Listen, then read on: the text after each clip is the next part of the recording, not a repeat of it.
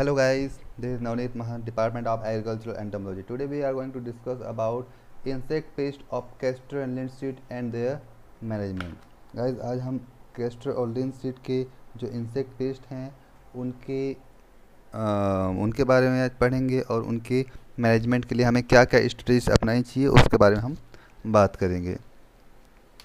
Guys सबसे पहले हम बात कर लेते हैं इंसेक्ट पेस्ट ऑफ़ कैस्ट्रो के बारे में। तो कैस्टर हमको ये पता होना चाहिए केस्टर होता क्या चीज़ है। Castor castor is a oil seed crop ये एक प्रकार का ऑयल सीड क्रॉप है जिससे तेल निकाला जाता है। इसके तेल का उपयोग बहुत सारी चीज़ों में किया जाता है। आ, इसका जो ऑयल होता है कैस्टर का उसका यूज़ पॉलिश बनाने के लिए लुब्रिकेंट्स बनाने के लिए हाइड्रोलिक लुब्रिकेंट या इंजन ऑयल बनाने के लिए इसका उपयोग किया जाता है। उसके साथ साथ वैक्स बनाने के लिए या कुछ मेडिसिन में भी इसका यूज़ किया जाता है। गाइस कैस्टर जो है बहुत सारे इंसेक्ट पेस्ट के द्वारा अफेक्टेड होता है। बहुत सारे इंसेक्ट पेस्ट इस पर अटैक करते हैं जिनमें से आज हम कुछ इन मेजर इंसेक्ट्स के बारे में बात करेंगे। फ़र्स्ट है कैस्टर सेमिलूपर एकिया जनाटा जो कैस्टर सेमिलूपर है एकिया जनाटा ये ऑर्डर लैपटॉप टेरा फैमिली नॉक्टिविडी के मेंबर्स होते हैं। ये कैस्टर के स्पेसिफिक पेस्ट होते हैं। आ, इनके जो एडल्ट हैं वो स्टाउट बॉडीड होते हैं ग्रेस ब्राउन कलर के आ, इनके जो पंख होते हैं उसमें ग्रेस ब्राउन कलर के स्केल्स होते हैं। ये मीडियम साइज़ इंसेक्ट होते हैं मीडियम मीडियम साइज़ मौत होते हैं जिनमें वेवी लाइंस होते हैं ब्लैक कलर के। इनके फ्रंट विंग में ब्लैक कलर के वेवी लाइंस होते हैं। हाइंड विंग जो होता है उसमें वाइट हाइंड विंग में वाइट विथ ब्लैक पैचेस और मार्किंग्स इसमें जो है पिछला पंख सफ़ेद कलर का होता है, जिसमें ब्लैक कलर के पैचेस बने हुए होते हैं। ये जो इंसेक्ट होता है, ये पॉलीफेगस होता है, हर प्रकार के वेजिटेशन पे फ़ीड करता है। Tomato potato rose castor pomegranate tea tridax tridax euphorbia etcetera सारे क्रॉप पे अटैक करते हैं। ये जो इंसेक्ट्स होते हैं ये आ, इनके एडल्ट फीमेल जो है अपने पूरे जीवन काल में 400 से 500 अंडे देते हैं। ये पत्तियों पे अलग अलग स्केटर्ड अंडे देते हैं और कहीं पे भी अंडे दे सकते हैं। इनका कोई स्पेसिफिक एग लेइंग साइट नहीं होता।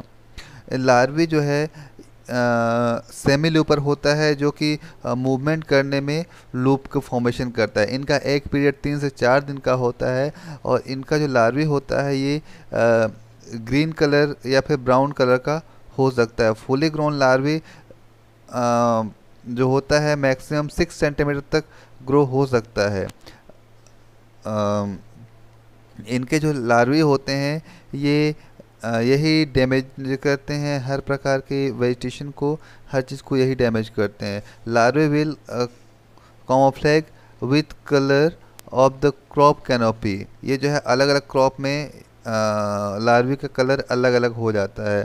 पैटर्न जो है थर्ड और फोर्थ इंस्टार लार्वी में अलग अलग दिखाई देते हैं। जो है अलग अलग जो क्रॉप में सेम इंसेक्ट अगर अलग अलग क्रॉप में लगते हैं तो उनमें वेरिएशंस देखने को मिल सकते हैं, लेकिन ये वेरिएशंस थर्ड और फोर्थ इंस्टार लार्वे के बाद ही देखने को मिल सकता है। इनका लार्वल स्टेज जो होता है, वो 20 से 25 दिन में ख़त्म हो जाते हैं।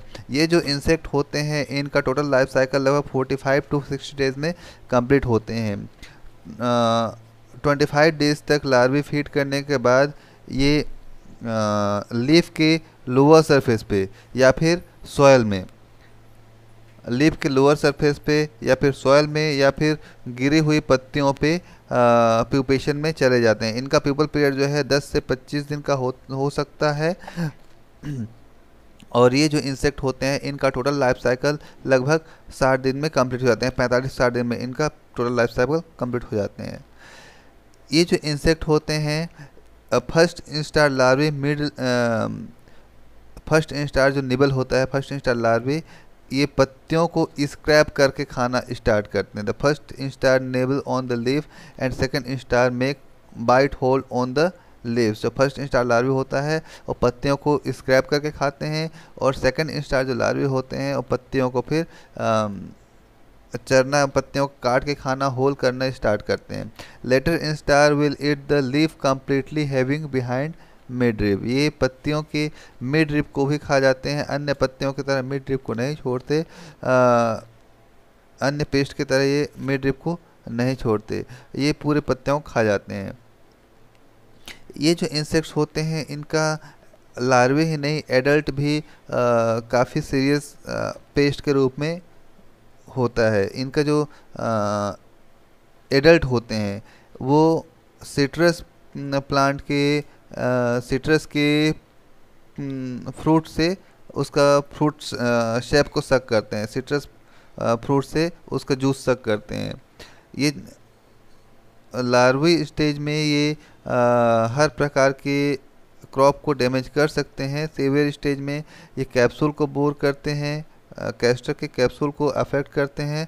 साथ साथ में आ, अन्य वेजिटेशन जस्ट लाइक टोमेटो के फ्रूट को भी डैमेज करते हैं और ब्रिंजल या कैबेज एट्सेट्रा प्लांट्स को भी डैमेज करते हैं। इनके मैनेजमेंट के लिए हमको हैंड पिकिंग करना चाहिए। सबसे पहले ये काफ़ी बड़े साइज़ के लार्वी होते हैं तो उनको हम आसानी से हैंड पिक हैंड पिकिंग करके उनको मार सकते हैं। Provide bird perching bird perches का हमको यूज़ करना चाहिए, क्योंकि इंसेक्ट काफ़ी बड़े साइज़ के होते हैं तो बर्ड परचेस के द्वारा हम बर्ड्स को आकर्षित कर सकते हैं और बर्ड्स इनको आसानी से ढूंढ के खा लेते हैं। बायोलॉजिकल कंट्रोल में हम हाइमनोप्टेरन जो पैरासिटॉइड्स हैं जस्ट लाइक ट्राइकोग्रामा और और भी कुछ पैरासाइट्स होते हैं पैरासिटॉइड्स होते हैं लार्वल पैरासिटॉइड्स जिनका हम यूज़ कर सकते हैं। केमिकल कंट्रोल में हम मेथाइल पैराथियन का यूज़ कर सकते हैं। Next insect is castor capsule borer castor capsule borer order order Lepidoptera family paralytic के सदस्य होते हैं। ये जो है कैस्टर के रेगुलर पेस्ट हैं, जो कि कैस्टर में हमेशा अटैक करते ही हैं। ये जो इंसेक्ट होते हैं कैस्टर कैप्सूल बोरर ये हर, ये भी पॉलीफेगस पेस्ट होते हैं, जो कि हर प्रकार के वेजिटेशन को खा सकते हैं। कैस्टर के अलावा cardamom, sorghum, mango, ginger, guava, peach jackfruit tomato etcetera plant को ये डैमेज करते हैं। कैस्टर और कार्डेमम में हम इनको शूट एंड कैप्सूल बोरर के नाम से जानते हैं। सोरघम में ईयरहेड बोरर मैंगो में इनफ्लोरसेंस कैटरपिलर जिंजर में राइजोम बोरर और गुआवा, पीच या जैक फ्रूट या फिर टोमेटो में टोमे फ्रूट बोरर के नाम से इनको जानते हैं। Similarly to fruit sucking moth it has suctorial proboscis piercing juice. ये जो है fruit sucking moth that means castor semilooper की तरह इनके मोथ में भी सेक्टोरियल टाइप प्रोवोसिस पाए जाते हैं जो कि फ्रूट से आ, उनके जो जूस हैं उनको सक करके फ्रूट को भी नुकसान पहुँचा सकते हैं। ये जो इंसेक्ट्स होते हैं, इनके एडल्ट मीडियम साइज़ होते हैं, जो कि ब्राइटली येलो कलर के होते हैं, जिनमें ऑरेंज कलर के पैचेस दिखाई देते हैं। साथ में ब्लैक कलर के स्पॉट्स भी होते हैं। इनका लाइफ साइकिल लगभग तीस से पैंतालीस दिन में कंप्लीट हो जाता है। ये जो इंसेक्ट होते हैं, ये ग्रुप में अंडे देते हैं इनफ्लोरसेंस या फिर बर्ड के ऊपर फ्लावर बर्ड्स के ऊपर में। ये इंसेक्ट छः के ग्रुप में छः से सात के ग्रुप में अंडे देते हैं, जिनका एक पीरियड लगभग तीन से छः दिन में कंप्लीट हो जाता है। तीन से छः दिन के पश्चात में एक से न्यूली हेड लार्वे होते हैं और फ़ीड करना स्टार्ट करते हैं। Newly hatched larvae firstly leaves को स्क्रैप करके खाते हैं, जिनमें फाइव स्टार कंप्लीट होने तक ये लीफ को ही फ़ीड करते हैं। ये जो इंसेक्ट होते हैं, इनका लार्वल पीरियड बारह से पंद्रह दिन में कंप्लीट हो जाता है और पंद्रह दिन के पश्चात ये प्यूपेशन में चले जाते हैं। प्यूपा जो है स्टेम के अंदर या या फिर स्टेम के ऊपर ही सिल्कन कोकून बनाते हैं, जो कि छः से सात दिन में कंप्लीट हो जाते हैं। एडल्ट जो है लगभग दस दिन तक ज़िंदा रहते हैं, इस प्रकार से इनकी लाइफ साइकिल तीस से पैंतालीस दिन में कंप्लीट हो जाते हैं।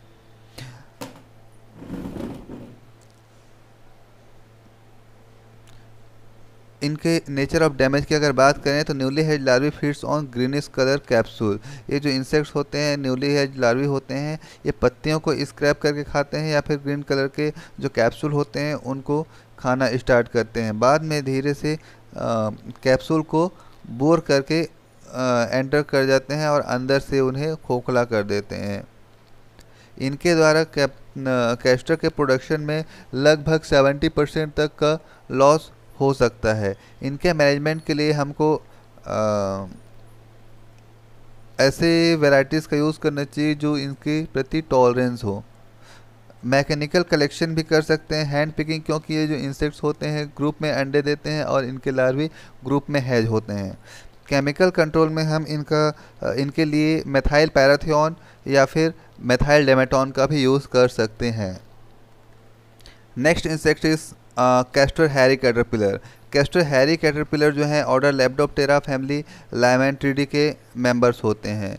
हैरी कैटरपिलर जो होते हैं, इनके लार्वल स्टेज में इनके लार्वा के ऊपर, पूरी बॉडी के ऊपर हेयर लाइक स्ट्रक्चर्स होते हैं। ये इनका पूरी बॉडी हेयर से ढके हुए होते हैं। एडल्ट मौत जो है क्लस्टर में लीफ की निचली सतह पे अंडे देते हैं जिनमें जिनका हैचिंग लगभग तीन से चार दिन में हो जाते हैं।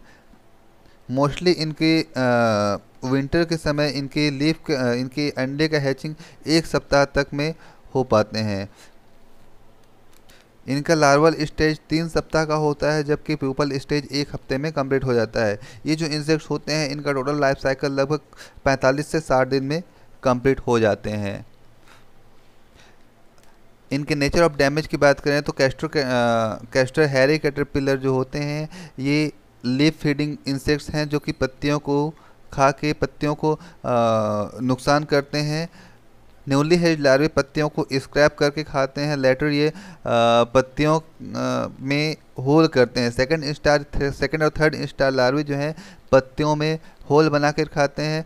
बाद में ये पूरी पत्तियों को डिफोलिएट कर देते हैं। इनके मैनेजमेंट के लिए हम मेथाइल पैराथियान या फिर मेथाइल डेमेटोन का यूज़ कर सकते हैं। Next insect is castor slug caterpillar is also a hairy caterpillar जो कि फैमिली लेमेसोडी लेमेसोडिडी ऑर्डर लेपिडोप्टेरा के मेंबर्स हैं। एडल्ट जो है मीडियम साइज़ होते हैं जो कि ग्रीन ग्रीनिश ब्राउन कलर के हो सकते हैं। इनमें, इनके कलर में वेरिएशंस होते हैं। अलग अलग क्रॉप में इनका जो वेरिएशन है, अलग अलग हो जाता है। इन्वायरमेंट और इको इकोसिस्टम के अकॉर्डिंग ये जो इंसेक्ट्स हैं, बहुत ज़्यादा डेवलप हो जाते हैं, इसलिए इनमें वेरिएशंस इतना ज़्यादा देखने को मिल सकता है। ये जो इंसेक्ट्स हैं पॉलीफेगस होते हैं कैस्टर के अलावा cocoa pomegranate mango wood apple etcetera पे ये अटैक करते हैं। मोस्टली जो स्लेज कैटरपिलर्स होते हैं फॉरेस्ट लैंड में दिखाई देते हैं बट कल्टिवेबल लैंड में ये जो इंसेक्ट हैं अटैक कर सकते हैं। इनका जो अंडा है egg egg are laid in group and covered with hairs and each group contains 20 to 30 eggs on the under surface of the leaves इनका जो एग पीरियड होता है वो छः से सात दिन में कंप्लीट हो जाता है और जो न्यूली हेज लार्वे होते हैं ये पत्तियों को पत्तियों पे फ़ीड करते हैं। पत्तियों के मिड रिप पे आ, तथा उसके जो वेंस होते हैं पत्तियों के वेंस, उन्हीं पे ये इंसेक्ट फ़ीड करते हैं। इनका लार्वल पीरियड लगभग 40 से 45 दिन का होता है और टोटल लाइफ साइकिल जो इस इंसेक्ट का टोटल लाइफ साइकिल है, लगभग 60 टू 70 डेज़ में कंप्लीट हो पाते हैं। इनका जो प्यूपेशन है, लगभग 10 दिन तक होता है 10 दिन तक प्यूपा एज ए प्यूपा ये पत्तियों के निचली सतह पे या स्टेम पे बने रहते हैं। ये जो इंसेक्ट होते हैं, ये सिल्कन कोकून बनाते हैं। लार्वी जो है, पत्तियों के पत्तियों के मिड रिप को छोड़ के बाकी पूरे वेंस को खा जाते हैं। अब बात करते हैं इंसेक्ट पेस्ट ऑफ़ लेंसिट के बारे में। लेंसिट के कौन कौन से इंसेक्ट पेस्ट हैं? हम इसमें बात करते हैं गाल फ्लाई की। गाल फ्लाई जो है लिंसिड गाल फ्लाई ये भी पॉलीफेगस पेस्ट है बट लिंसिड गाल मेन जो होस्ट है वो है लिंसिड ये जो इंसेक्ट है, ये लिंसिड का मेजर पेस्ट होता है जो कि लिंसिट के बर्ड्स पे अपने अंडे छोड़ता है, जिससे न्यूली हेज जो लार्वी होते हैं मैगट होते हैं, वो फ़ीड करने लगते हैं एंटर करके और वहाँ पे गाल बनाते हैं, जिसके अंदर दो से तीन लार्वी मिल जाते हैं। इनका डिस्ट्रीब्यूशन की बात करें तो आंध्र प्रदेश, मध्य प्रदेश, बिहार, उत्तर प्रदेश, दिल्ली, पंजाब, छत्तीसगढ़, हरियाणा एट्सेट्रा जो स्टेट्स हैं वहाँ पाए जाते हैं। ये जो adult of the gall midge is a small orange fly ये जो है मच्छर के समान दिखाई देने वाले फ्लाई होते हैं जो एडल्ट फीमेल होते हैं अपने पूरे जीवन काल में 29 से 103 तक अंडे दे सकते हैं। ट्रांसपेरेंट एग होता है आ, जो कि फ्लावर्स बर्ड के ऊपर आठ से दस के ग्रुप में देते हैं। इनका जो एग पीरियड है लगभग तीन से पाँच दिन में कंप्लीट हो जाते हैं।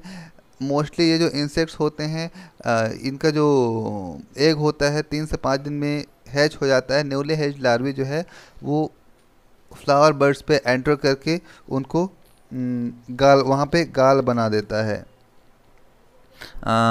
Just after emergence the larvae are transparent with a yellow patch on the abdomen they pass through four instar in four to ten days लगभग दस दिन में इनमें चार इंस्टार कंप्लीट होता है and when full grown become deep pink and measure about two m m in centimetre oh sorry two m m in length the full grown maggot drop to the ground prepare a cocoon and pupate on the soil ये जो insect होते हैं इनका preparation soil में होता है और इनके कंट्रोल के लिए आ, हमें समर प्लोइंग करना काफ़ी कारगर हो सकता है। नेचर ऑफ़ डैमेज की बात करें तो मैगट जो है फ़ीड फ्लोरल बट के अंदर फ़ीड करता है। मैंने पहले ही बताया जैसे कि फ्लावर बट पे ये इंसेक्ट्स का मैगट फ़ीड करता है। Maggots feed inside the floor floral bud leading to formation of gall like structure which do not develop in the flower capsule the affected buds wither and drop management के लिए हमें summer ploughing deep summer ploughing करनी चाहिए plus infected जो गाल होते हैं उसको हम कट करके हमें डिस्ट्रॉय कर देना चाहिए। साथ में आ, हमें नीम फॉर्मुलेशन का एज एड्रेक्टिन फॉर्मुलेशन का स्प्रे करना चाहिए। गाइज़ आज के लिए बस इतना ही। Thank you